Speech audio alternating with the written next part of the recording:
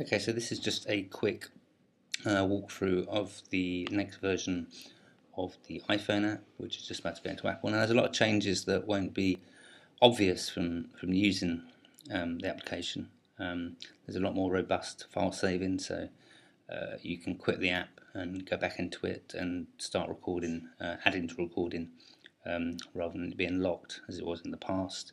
Um, it's got accessibility for blind users, so we've been working with a couple of partially sighted people on making sure that the application worked um, worked for them, which seems to pretty well. Uh, we've built in localization, which won't mean anything, but it means uh, very soon in the future uh, you'll be able to access um, boos that are local to, to where you are. Uh, the battery usage is, is way, way better. We had a lot of complaints um, in the past that uh, it sucked usage, battery usage, which it did. Uh, it doesn't now. For example, I had audio open on my iPhone um, all night uh, and marginally affected the battery usage. A um, couple of crashes on audio playback and a whole bunch of um, bug fixes, minor bug fixes. So you may be disappointed, but uh, there's a lot going on in the background. But the, the stuff you will see, um, one is the detailed view.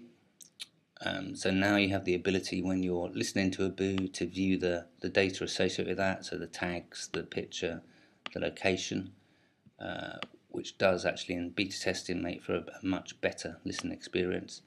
And then we've also mimicked the uh, website functionality. So rather than just seeing the most recent boos, you can see um, a whole bunch of different ones um, actually in the app. Uh, other changes are the account screen no longer kicks you out to Safari to uh, complete your account. That's done in app. Um, and there's this little screen here called Uploads. Now this will not be enabled by default.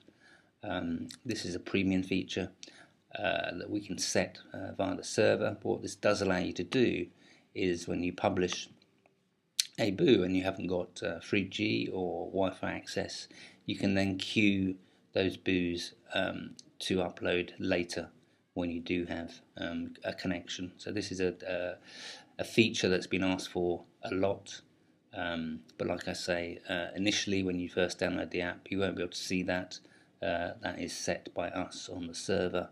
And once we work out a way um, for you lovely people uh, to pay for that, uh, we'll be enabling that. That will also increase uh, the time limit uh, on your app um, to 30 minutes.